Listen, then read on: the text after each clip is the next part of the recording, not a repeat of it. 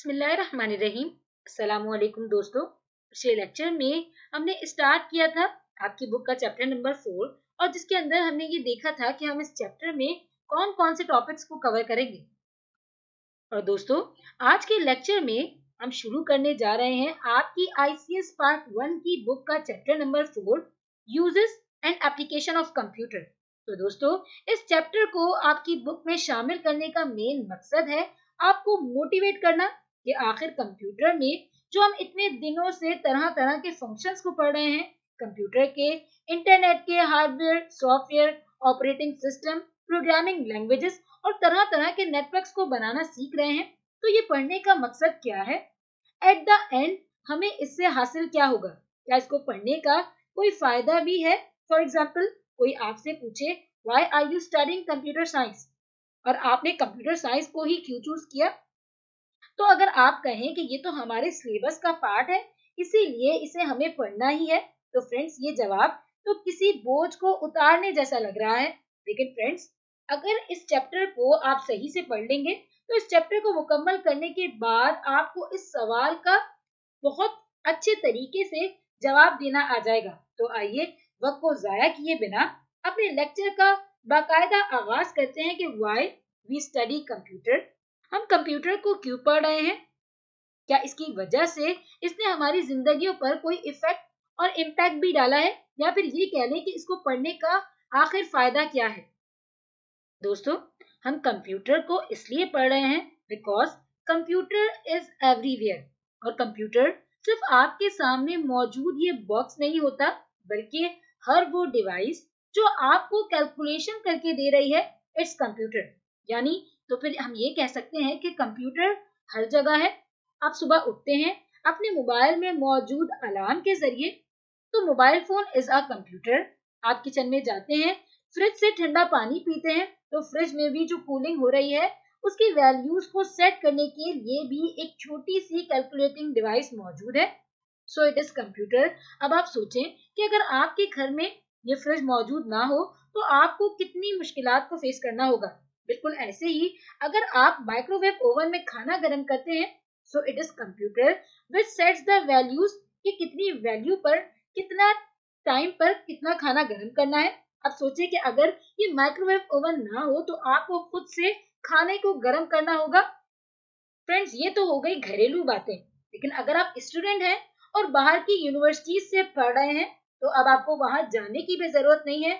आपने अपने कंप्यूटर को ऑन किया और बाहर की यूनिवर्सिटी में होने वाली क्लासेस को, जिसे वर्चुअल क्लास भी कहा जाता है, उन क्लासेस को घर बैठे अटेंड कर लिया। आप सोचे कि अगर ये कंप्यूटर ना हो तो आपको कितना ज़्यादा वक्त लगेगा वीज़ा बनवाने में पासपोर्ट बनवाने में, और फिर अपने घर वालों से दूर भी जाना पड़ेगा। तो फ्रेंड्स ये कंप्यूटर ही है जो आपको घर बैठे बाहर की यूनिवर्सिटीज में पढ़ने की मौके फराहम करता है। ये तो हो गई ऑनलाइन क्लासेस की बात, जो कि सिर्फ़ कंप्यूटर के ज़रिए ही हासिल की जा सकती है। अगर आप ऑनलाइन नहीं भी पढ़ रहे हैं, और फॉर एग्ज़ाम्पल आपको कॉलेज जाना है तो कॉलेज जाने के लिए पहले आप बस स्टॉप पर जाएँगे, फिर घंटों बसेस का इंतज़ार करेंगे। लेकिन अब कंप्यूटर के ज़रिए ऐसी एप्लीकेशंस आ गई हैं, जिनके ज़रिए आप सिर्फ़ बटन दबाते हैं और गाड़ी आपके घर के सामने मौजूद होती है। तो फ्रेंड्स आप देख सकते हैं कि किस तरीके से ये कंप्यूटर आपकी जिंदगियों पर असरअंदाज हो रहा है और कैसे इसने आपकी ज़िंदगी को बहुत ज़्यादा आसान बना दिया है, आपको मेहनत और मुशक्कत करने से बचा लिया है और साथ के साथ आपके वक्त को भी बचा लिया है। तो फ्रेंड्स इसके अलावा पहले आपको कॉलेज का कोई असाइनमेंट मिलता था तो आप घंटों उस टॉपिक को लाइब्रेरीज में सर्च करते थे, जिसमें कई कई दिन लग जाते थे। अब आपके हाथ में मौजूद कंप्यूटर, यानी मोबाइल फ़ोन के ज़रिए गूगल पर बस टॉपिक का नाम ही लिखते हैं कि उसकी पूरी बायोग्राफी आपके सामने होती है। पहले अपने अजीजों अकारिब से आप खतूत के ज़रिए बात करते थे, जिसमें कई कई दिन लग जाते थे। उन खतूत को आपके रिश्तेदारों के पास पहुँचने में अब बस आप एक बटन दबाते हैं और जट से ईमेल के ज़रिए उनको लेटर पहुँच जाता है। इसके साथ साथ अगर आप अपने रिश्तेदारों से बात करना चाहते हैं तो आपके पास मोबाइल फ़ोन मौजूद है। और अगर आप उनको देखना चाहते हैं तो वीडियो कॉल्स का भी ऑप्शन मौजूद है। तो दोस्तों, ये तमाम चीज़ें किसने पॉसिबल की? आपके कंप्यूटर ने। यानी ये कंप्यूटर ही है जिसने हमारे दूर मौजूद रिश्तेदारों को, यानी अगर हमारे रिश्तेदार पूरी दुनिया में कहीं भी मौजूद हैं तो उनको इस तरीके से कर दिया है कि ऐसा लगता है कि वो हमारे साथ ही मौजूद हैं। यानी कंप्यूटर के ज़रिए हम अपने रिश्तेदारों से अपने अजीजों अकारिब से करीब हो गए हैं। इसके अलावा, दोस्तों, पहले आपको घंटों बिल पे करने के लिए लाइनों में खड़ा होना होता था। अब आप सिर्फ़ एक बटन दबाते हैं और आपके बिल पे हो जाते हैं। पहले आपको ग्रोसरी खरीदनी हो, कपड़े लेने हो, हत्या के कोई फ्रूट लेना हो तो आपको खुद मार्केट जाकर उसको खरीदना होता था, जिसमें बहुत सा वक्त चाहिए होता था।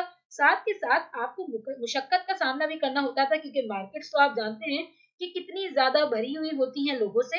लेकिन अब ऑनलाइन शॉपिंग के ज़रिए ना सिर्फ़ घर बैठे अपने मुल्क से, बल्कि बाहर के ममालिक से भी चीज़ें मंगवा सकते हैं।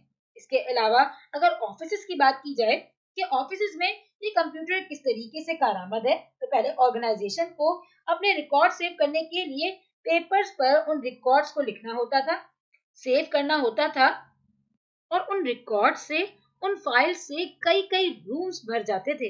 यानी कई कई रूम इन कागजों से भरे होते थे ऑर्गेनाइजेशंस में। लेकिन अब एक छोटी सी चिप पर थाउज़ेंड गीगाबाइट तक के डाटा को स्टोर किया जाता है। यानी एक कंप्यूटर एक रूम में जितने फाइल्स मौजूद होती हैं, उन तमाम फाइल्स को इस छोटी सी चिप के अंदर सेव किया जा सकता है। और ये चिप भी कहाँ मौजूद होती है? आपके कंप्यूटर के अंदर। तो दोस्तों, आप ये देख सकते हैं कि किस तरीके से कंप्यूटर ऑर्गेनाइजेशंस के अंदर उनको फ़ायदा पहुँचा रहे हैं। इसके अलावा, पहले कोई एक मुल्क में कोई चीज़ इन्वेंट होती थी तो उस मुल्क में मौजूद रहने वाले लोग भी उससे वाकिफ नहीं होते थे। लेकिन अब कहीं भी कोई साइंटिफिक इन्वेंशन हो, एक क्लिक के ज़रिए सारी दुनिया में उसकी खबरें फैल जाती हैं। इसके साथ साथ मेडिकल की फ़ील्ड में पहले डेथ रेशो बहुत ज़्यादा था, क्योंकि डॉक्टर्स पेशेंट्स के मर्ज का सही जाँच नहीं कर पाते थे, लेकिन अब कंप्यूटर की बदौलत मिनटों में पता लग जाता है कि मर्ज क्या है और उसको किस तरीके से हल करना है। पहले दोस्तों, आपको टीवी देखने के लिए एक अलग डिवाइस की ज़रूरत होती थी। डीवीडी प्लेयर के लिए एक अलग डिवाइस होती थी। गेम्स खेलने के लिए अलग से गेम्स मौजूद होते थे और गाने सुनने के लिए टेप रिकॉर्डर्स का इस्तेमाल किया जाता था। लेकिन अब आप सिर्फ़ एक छोटे से कंप्यूटर यानी अपने मोबाइल फ़ोन के ज़रिए ये तमाम काम एक साथ कर सकते हैं।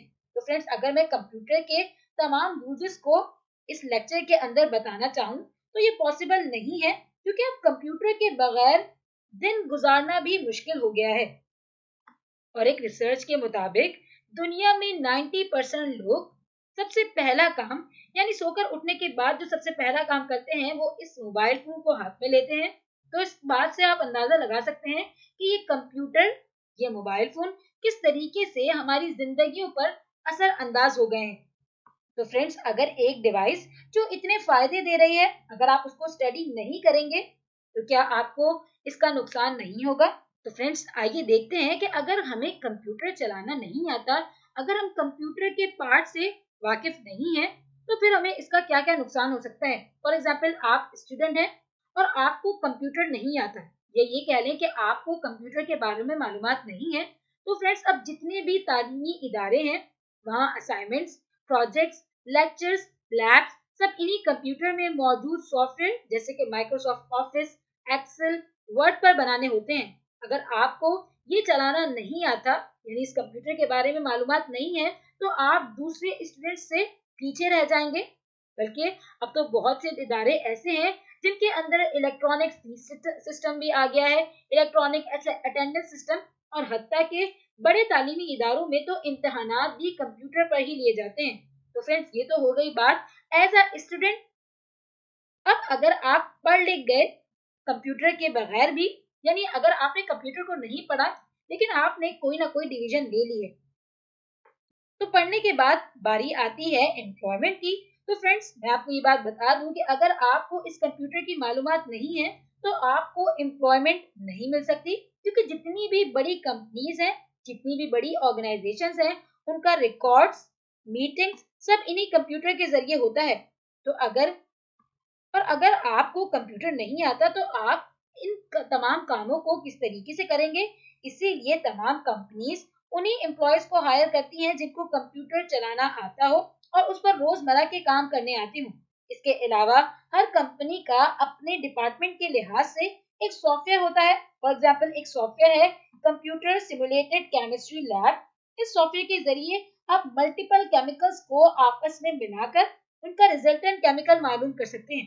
यानी अब आपको अलग अलग केमिकल्स को फिजिकली मिक्स नहीं करने की ज़रूरत भी नहीं है। कि दोस्तों, कुछ केमिकल्स बहुत ज़्यादा खतरनाक होते हैं जानलेवा होते हैं तो इस तरीके से आपको आपका रिजल्टेंट केमिकल पता लग जाएगा। और इससे ना सिर्फ़ आपकी हेल्थ का फ़ायदा है, बल्कि केमिकल्स को खरीदने की कॉस्ट भी रिड्यूस हो सकती है, क्योंकि केमिकल्स को अलग अलग खरीदने के लिए एक भारी कीमत दरकार होती है। तो इस छोटे से सॉफ्टवेयर के ज़रिए आप लाखों रुपयों को बचा बचा सकते हैं और लाखों जानों को बचा सकते हैं। तो फ्रेंड्स ऐसे इस तरह के हज़ारों और लाखों सॉफ्टवेयर मौजूद हैं, जो हर ऑर्गेनाइजेशन अपने कामों के लिहाज से इनको इस्तेमाल कर रही हैं। तो सोचें, अगर आपको वो सॉफ्टवेयर इस्तेमाल करना नहीं आते होंगे, क्योंकि वो तमाम सॉफ्टवेयर तो कंप्यूटर्स के अंदर मौजूद होते हैं तो आपका कितना नुकसान होगा? तो फ्रेंड्स ये थे कंप्यूटर के बारे में मालूम कि कंप्यूटर किस तरीके से हमारी जिंदगियों पर असर अंदाज हो रहा है, इसका क्या इम्पैक्ट पड़ है। और फ्रेंड्स एक बात याद रखिएगा, जितनी मालूम आपके पास कंप्यूटर के बारे में ज़्यादा होगी जितनी डेप्थ में आप कंप्यूटर को जानेंगे, इसके फ़ायदे भी आपको इतने ही मिलेंगे। तो ये था कि वाई वी स्टडी कंप्यूटर क्योंकि कंप्यूटर अब हमारी ज़िंदगी का एक बहुत बड़ा हिस्सा बन गया है।